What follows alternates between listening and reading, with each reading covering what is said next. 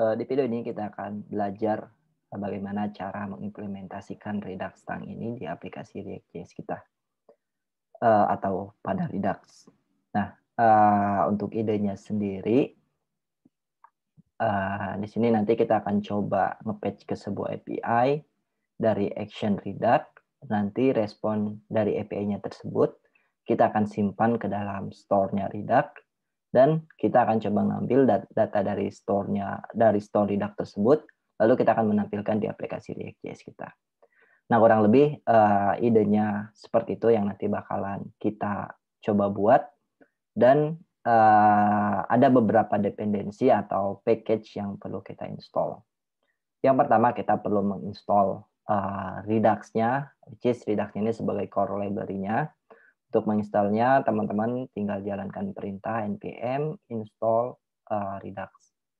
Lalu dependensi yang kedua yang kita butuhkan adalah React Redux. React Redux ini sebagai bindingnya. Uh, cara menginstalnya, teman-teman tinggal jalankan perintah npm install React Redux. Dan uh, yang terakhir yang kita butuhkan adalah Redux Tang. Redux Tang ini sebagai middleware untuk menghandle proses asinkronus pada Redux. Untuk cara menginstalnya, teman-teman tinggal jalankan perintah npm install das dasep option ini boleh dipakai atau enggak. Lalu nama package-nya which is yang Redux Tang. Nah, uh, jadi itu dia uh, package atau library yang kita butuhkan. Silahkan teman-teman uh, melakukan instalasi di project teman-teman. Uh, di sini saya tidak akan uh, menjalankan perintah tersebut karena saya sudah menginstallnya. Kalau kita lihat di bagian packages-nya, di sini sudah ada Redux versi 4.0.5, lalu, lalu sudah ada Redux Tang versi 2.3.0 dan sudah ada React Redux untuk bindingnya versi 7.2.2. Nah, uh, itu dia yang perlu teman-teman install di project uh, teman-teman. Ada tiga dependensi dan uh, untuk uh, proses demonya ini, saya akan mendemokan menggunakan code sandbox. Uh, jadi biar lebih mudah untuk sharing code-nya nanti.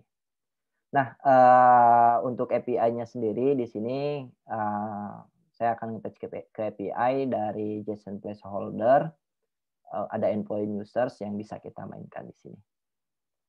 Nah, jadi uh, itu dia untuk kebutuhan yang uh, diperlukan dalam demo kali ini. Dan kita akan langsung masuk ke bagian demonya. Hal pertama yang akan uh, kita lakukan adalah kita akan men-setup Redux-nya terlebih dahulu. Untuk setup Redux-nya, saya akan membuat sebuah folder store, lalu di sini ada index.js-nya. Nah, di index.js-nya ini kita akan menginstall atau men-setup Redux-nya. Untuk setup Redux-nya sendiri, eh, yang pertama yang harus kita lakukan adalah kita membuat store-nya. Untuk membuat store, kita akan eh, import create store dari Redux, lalu kita instantiate si store-nya itu, secret store-nya itu, lalu dia butuh yang namanya parameter wajib uh, reducer. Nah, untuk reducernya sendiri nggak lain nggak bukan adalah fungsi JavaScript biasa. Kita akan buat di sini buat fungsi dengan nama reducer. Uh, dia akan menerima dua parameter, state dan juga uh, action. Nah, untuk uh, di usernya sendiri saya nggak ada logic apa pun, saya akan langsung nge-return uh, state-nya. Nah, untuk inisialisasi state-nya sendiri, di sini saya akan buat uh, variabel baru. Ini state sama dengan, uh, saya akan membuat sebuah objek, lalu di sini uh, ada key users saya kasih uh, default value adalah array kosong. Kenapa key-nya adalah users? Karena data yang mau kita hit di sini adalah data users. Oke, okay, uh, eh, lalu untuk inisialisasi state-nya kita set ke dalam state-nya. Initial state. Dan jangan lupa kita export default uh, store-nya. Store dan uh, kita masukkan registernya ke dalam create store.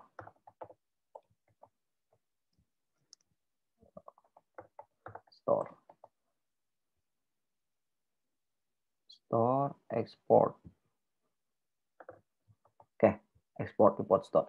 Nah, jadi untuk setup Redux-nya cukup seperti ini. Uh, lalu yang akan kita lakukan selanjutnya adalah kita akan coba membinding uh, Redux-nya di aplikasi React.js kita. Oh ya, uh, saya lupa satu hal bahwa uh, saya pastikan teman-teman sudah belajar Redux basicnya terlebih dahulu karena saya tidak akan membahas Redux basicnya. Yang mau saya tekankan di sini adalah uh, gimana cara kita menghandle proses asinkronus pada Redux. Nah, untuk teman-teman yang mau belajar uh, materi Redux Basic, teman-teman bisa lihat di playlist Redux. Oke, okay, uh, untuk setupnya seperti ini, sekarang yang akan kita lakukan adalah uh, kita langsung membinding Redux-nya ini di aplikasi React.js kita. Saya akan coba membinding uh, Redux-nya di bagian app.js-nya ini. Uh, kita butuh store yang sudah kita inisialisasi tadi atau sudah kita setup tadi. Store from store. Lalu untuk bindingnya kita perlu komponen dari React Redux.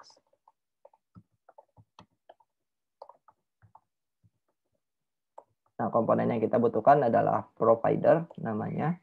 Dan kita akan coba bungkus semua eh, komponen kita di dalam provider ini biar apa? Biar nantinya semua komponen yang ada di dalam provider ini dia bisa menggunakan fungsi-fungsi dari si uh, React Redux.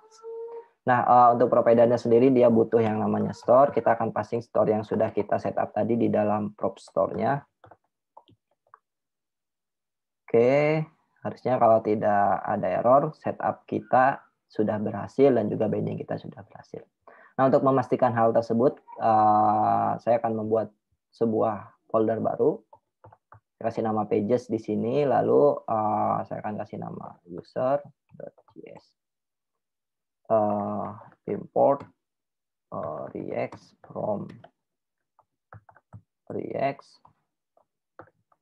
Lalu saya akan membuat sebuah functional komponen. Di sini pakai raw function. Mungkin export report ya. Lalu yang saya akan coba return adalah sebuah div biasa yang di mana di dalamnya ada sebuah tag h1. Uh, untuk labelnya sendiri saya kasih nama uh, user page. Nah, uh, user page-nya ini kita akan coba import ke bagian app.js-nya. User page from pages, users, lalu kita coba print di bagian sini. Nah, untuk tag h1 dan tag h2-nya ini kita hapus saja, kita akan ganti menggunakan user page. Nah, eh, kita sudah eh, melihat tulisan user page di aplikasi kita. Sekarang eh, untuk memastikan setup dan juga binding Redux-nya, kita akan coba mengambil data dari Redux-nya dari komponen users ini uh, untuk mengambil data dari Redux-nya, karena kita menggunakan functional komponen, kita bisa menggunakan yang namanya hooks.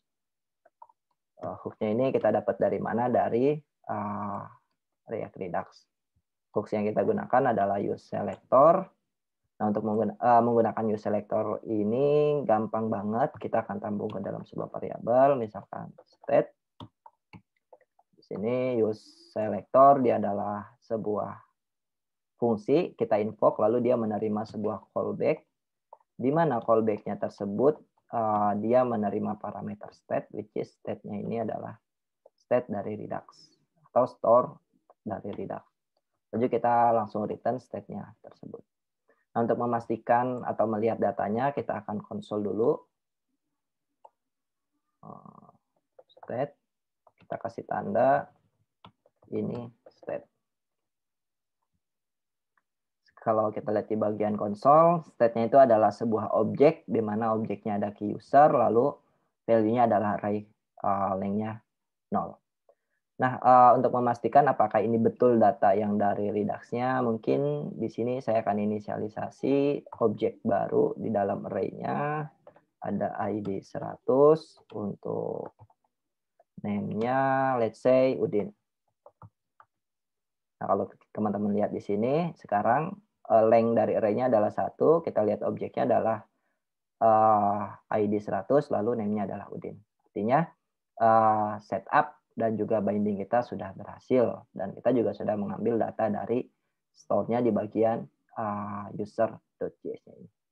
Nah, uh, biar lebih uh, kelihatan, mungkin saya akan langsung map aja data users-nya ini, atau uh, saya hapus dulu. Nah, karena kita mau mengambil data users-nya, kita bisa lebih spesifik di sini. Kita yang mau kita return adalah state users-nya. Lalu untuk nama variabelnya di sini, kita kasih nama users, biar lebih eksplisit dan juga spesifik. Lalu yang kita map di sini adalah users, kita map hasil iterasinya kita simpan di dalam variabel user. Kita akan nge-return, mungkin kita bungkus dulu di dalam UL kali ya. UL, UL di sini, baru uh, yang akan kita return adalah LI. LI. LI lalu yang saya mau print adalah user name karena tadi ada property name di dalam objeknya. Untuk key-nya sendiri kita pakai user.id aja. Property ID dari objek usernya. Nah, kalau teman-teman lihat sekarang uh, kita sudah menampilkan data uh, users dari Redux-nya menggunakan user selector ini.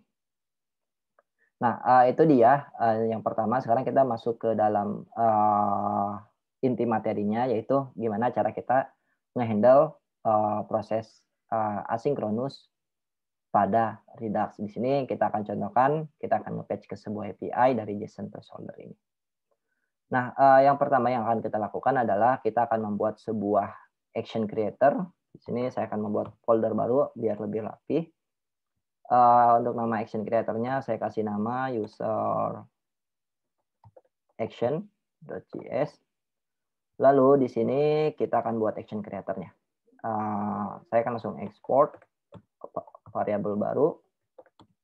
Uh, karena kita mau nge-patch ke sebuah API, maka nama action creatornya adalah patch users. Saya pakai raw function. Nah, uh, pada action creatornya ini, instead of kita nge-return sebuah objek pada action creator, kita bisa uh, nge-return sebuah function ketika kita menggunakan uh, Redux tang pada Redux. Nah, di mana uh, pada inner function-nya ini dia akan menerima dispatch dispatch dan juga get get state. Nah, dispatch-nya ini digunakan untuk ngedispatch action-nya nanti pada action creator ini, sedangkan untuk get state-nya sendiri digunakan untuk uh, mengambil data dari uh, Redux. Nah, baru di sini kita bisa letakkan logic kita. Nah, karena kita mau nge-patch ke sebuah API, maka di sini saya akan menggunakan fungsi bawaan dari JavaScript, which is patch, lalu kita akan uh, masukkan endpoint-nya, which is dari JSON placeholder ini. Uh, kita balik ke coding. Nah, di sini kita masukkan patch, uh, endpoint-nya apa, lalu uh, dia akan mengembalikan sebuah promise Eh, kita akan terima responnya, kita akan rubah responnya menjadi sebuah JSON. Lalu eh, dia akan mengembalikan promise lagi. Eh, kita akan terima datanya. Nah, lalu di sini kita bisa langsung ngedispatch sebuah action karena kita sudah punya variable dispatch di sini. Nah, untuk ngedispatch sebuah action, seperti yang teman-teman tahu, action adalah sebuah objek JavaScript biasa. Di sini kita kasih type uh, nama actionnya misalkan set users. Lalu kita juga ketika nge-display sebuah action kita mau mengirimkan datanya. Uh, di sini kita akan simpan di dalam variabel atau di dalam key users untuk data yang mau kita kirim dari uh, actionnya. Nah, jadi uh, cukup seperti ini ketika kita membuat sebuah uh, action creator pada Redux. Lalu ketika kita sudah menggunakan uh, Redux Tang, jadi kita bisa nge sebuah fungsi di dalam action creator-nya itu. Dan fungsinya ini menerima dua parameter, dispatch dan juga getState. Uh, selanjutnya yang akan kita uh, contohkan. Uh, kita akan coba nge karena kita di sini ada sebuah dispatch nge-dispatch sebuah action, kita akan uh, coba uh, konsol di bagian reducernya untuk actionnya sendiri. Console log action kita kasih tanda ini adalah in action. Oke, okay. Uh, kalau kita lihat mungkin kita bersihin dulu ya untuk konsolnya. Kita refresh. Nah ini uh, by default actionnya ini ini yang di-trigger.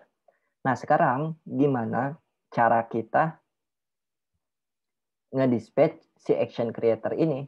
Nah ini karena kita sudah export, kita bisa import di mana pun yang di, di komponen apa pun uh, ketika kita membutuhkan si page users ini. Misalkan kita butuh page user ini di bagian uh, user.js ini, maka kita perlu nge-importnya. Atau kita tinggal nge-import si page user tersebut. Sini kita mundur, kita arahkan ke bagian store, lalu di bagian action ada user action. Nah, yang kita butuhkan di sini misalkan page user. Nah, untuk uh, nge-dispatch si page user ini, kita bisa menggunakan use dispatch dari si uh, React Redux-nya. Nah, untuk menggunakan use dispatch seperti yang teman-teman tahu, kita perlu tampung dulu ke dalam sebuah variabel atau kita uh, instantiate dulu. Lalu di sini use dispatch.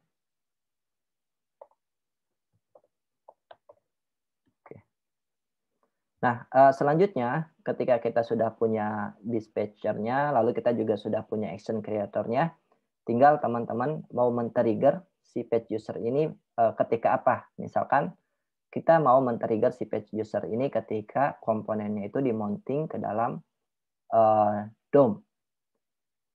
Nah, maka kita butuh yang namanya side effect di sini ketika kalau uh, kita mau uh, si use dispatch atau si page user ini dijalankan secara otomatis ketika komponennya itu dimonting. Kita pakai use uh, effect namanya karena ini adalah functional komponen dia nggak punya uh, life cycle. Kita bisa menggunakan side effect chase use effect. Use effect kita invoke kita menerima sebuah callback dan juga array of dependency nah di sini uh, kita bisa langsung nge-dispatch si action creatornya page users kalau kita invoke oke okay. action must be plain object use custom middleware for async action. Nah, di sini sudah jelas bahwa ketika kita nge-dispatch sebuah uh, action creator, maka si action creatornya itu atau harus nge-return sebuah plain object. Nah, sedangkan yang kita lakukan di sini adalah kita nge-return sebuah fungsi. Nah, maka dia uh, menyarankan gunakan custom middleware untuk proses asinkronus. Nah, uh, yang uh, sempat saya mention di awal tadi, kita bisa menggunakan Redux Tang untuk menghandle proses asinkronus. Nah, cara menggunakan si Redux Tang-nya ini seperti apa? Nah, cara menggunakan atau cara setup si Redux Tang-nya ini, kita masuk ke bagian setup Redux-nya. Uh, hal yang pertama yang harus kita lakukan di sini adalah kita uh, import si tangnya itu sendiri tidak stang. Lalu yang kedua adalah untuk implementasinya kita bisa menggunakan apply middleware. Nah, lalu untuk pengaplikasiannya di bagian create store ini, nah di parameter kedua teman-teman bisa uh, implementasiin apply middleware lalu invoke dan masukkan uh, middleware yang mau teman-teman pakai. Which is yang tang ini. Nah, uh, di apply middleware ini bisa teman-teman implementasiin banyak uh, lebih dari satu middleware. Misalkan teman-teman mau pakai middleware yang lain, teman-teman tinggal pisahkan pakai tanda koma, pakai tanda koma seperti ini. Nah, di sini karena kita baru pakai satu middleware, ya udah kita seperti ini aja. Tang kita pakai apply middleware. Tangnya ini dari mana? Dari Redux Tang, apply middleware-nya dari uh, Redux. Nah, selanjutnya kalau teman-teman lihat di sini, uh, saya akan coba balik ke bagian aplikasinya, masuk ke bagian konsol, saya refresh. Kalau teman-teman lihat di sini, eh, kita ngelihat bahwa ada sebuah action yang di dispatch. Di mana type-nya itu adalah set users, lalu dia mengirimkan data di bagian key users-nya ini berupa array dan length-nya adalah 10. Ini adalah respon dari API-nya.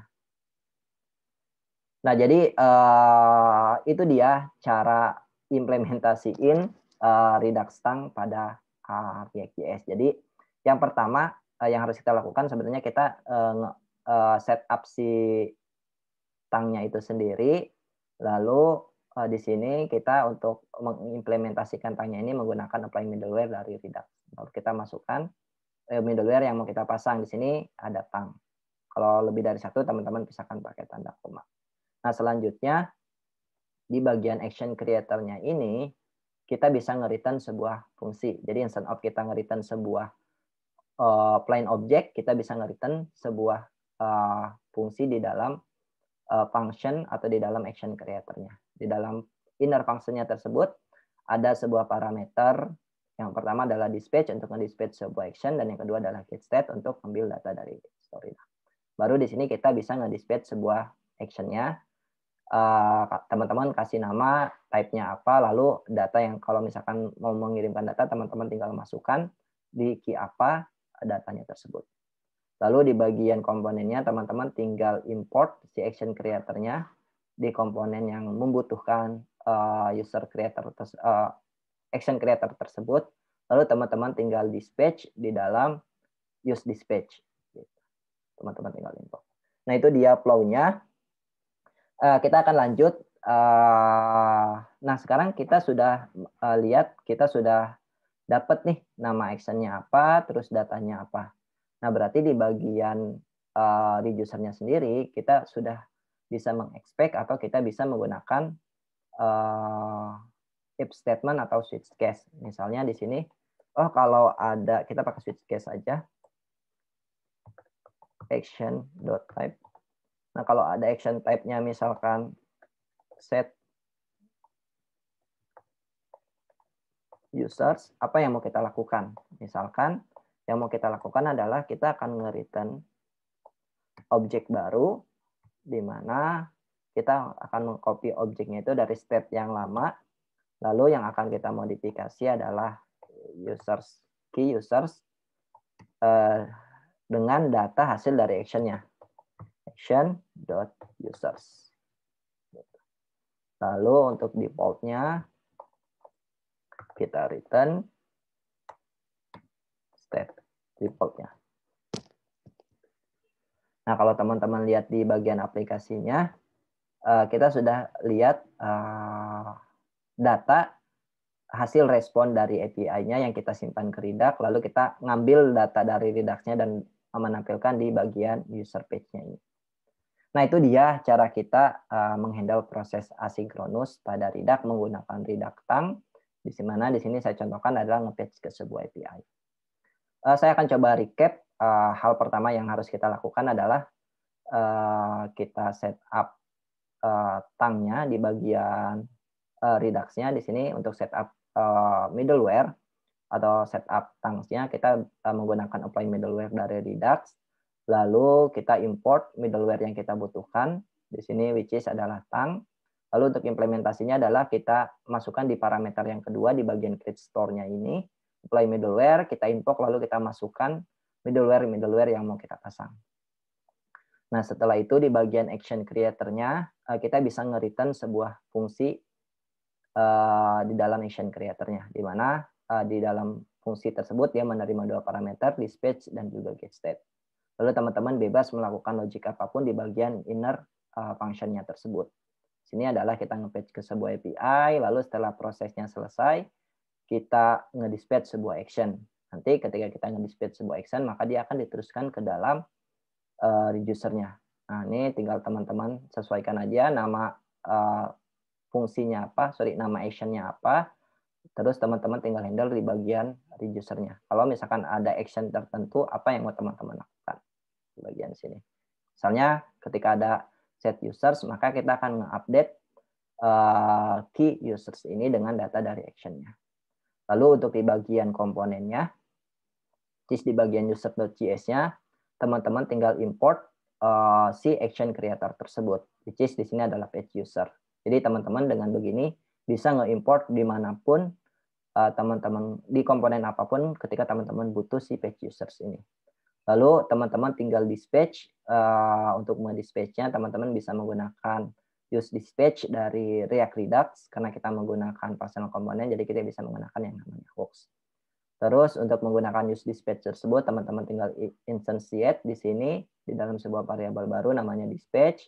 Lalu teman-teman tinggal invoke si dispatch-nya ini lalu teman-teman teman-teman tinggal masukkan use uh, page-nya tadi atau si action creator-nya tadi lalu teman-teman invoke lagi.